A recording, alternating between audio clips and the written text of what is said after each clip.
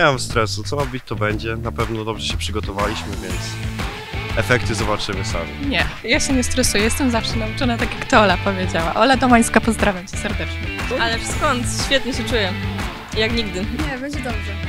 Nie ma co się stresować na zapas. Idziemy, robimy swoje. Ważne, żeby mieć już to za sobą. Trzeba być dobrze nastawionym i będzie dobrze. Teraz w sumie mniejszy, myślałam, że będzie większy, a my jesteśmy zawsze przygotowane, tak jak to mówi nasza koleżanka Ola Domańska. No na pewno jest, szczególnie t- dlatego, że to jest pierwsza matura. Zobaczymy, y, czym nas y, Centralna Komisja Egzaminacyjna y, zaskoczy, ale myślę, że nawet nie będzie źle. Czy stres? Nie wydaje mi się. Rodzice mi się pytali, czy wszystko u mnie dobrze. Ja mówię, lepiej nigdy nie było, także... Nie, stresu nie ma. Nie, raczej bez stresu, na spokojnie. Nie, nawet na spokojnie w tym roku. Znaczy w tym roku. Pierwszy raz i mam nadzieję ostatni. W żadnym wypadku. Stoicki spokój. Tylko polski, więc stresu nie ma za dużego. Jestem spokojny. Trochę. Wydaje mi się, że właśnie nie i to mnie chyba niepokoi, że czuję jakbym szła na jakiś sprawdzian kolejny. No jakoś nie ma tego stresu dużego. Ja miałem takie przygotowania od w sumie miesiąca, ale tak naprawdę to powtarzam od wczoraj, także...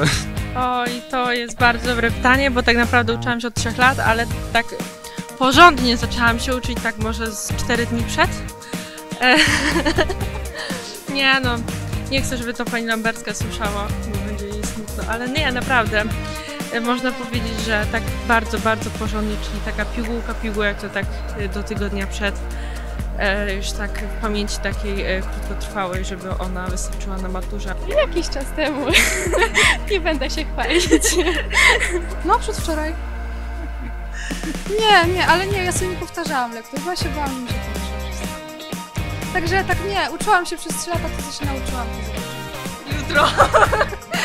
Nie no, od świąt wielkanocnych tak gdzieś mniej więcej. Ale czy pamiętam to, co powtarzałam, to bym nie powiedziała. Tematy już sobie posprawdzałem mniej więcej jak y, ludzie obstawiali na internecie i niczego się zupełnie nie dowiedziałem, ale e, jestem dobrej myśli i byleby się nie wywrócić na, którym z, na którymś z tematów. Że walnę jakiegoś kardynała i będzie po maturze. Chyba na dziady, bo dawno nie było i myślę, że jeszcze jest rok romantyzmu, to myślę, że coś pana Mickiewicza będzie. Chciałbym też bardziej dziady, więc liczę, że się pojawi. Dziady. Dziady część trzecia. Oczywiście motyw cierpienia. Tak, no, czy, co będzie, to będzie, więc może być, mogą być dziady, Pantoneusz. Ciężko określić tak naprawdę, bo ostatnia matura, więc mogą dać tak naprawdę wszystko.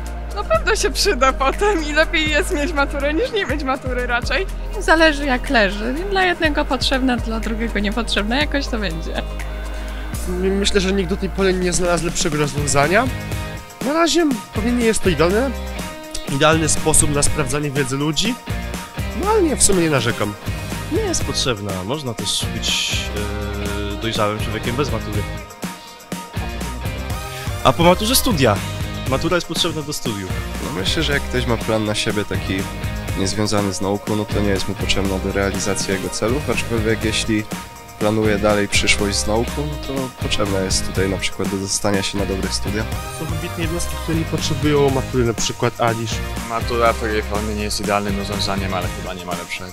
Na pewno to jest e, następny krok w dojrzałość i po prostu taka karta, która nam pozwala iść dalej. Więc czy potrzebne? Ciężko powiedzieć. Po prostu daje nam możliwość, żeby przejść dalej i dalej się rozwijać. Takie pierwsze wejście w, takie, ży- w dorosłość, taki pierwszy taki egzamin, no jak nazwa wskazuje, egzamin dojrzałości, także myślę, że to jest początek dopiero naszych przygód z życiem dorosłym i można powiedzieć pierwszych problemów. Ale zobaczymy. Ale to się jeszcze okaże, jak wyjdzie. Jeszcze zobaczymy. Na razie trzeba napisać. Filologia arabska. Lekarski. Też lekarski. Postaram się już zdawać, ale nie szkodzić, ale... Hmm, z moim talentem może być różnie. Myślę, że połamania pióra. Szczęścia. Wszystkiego tak naprawdę.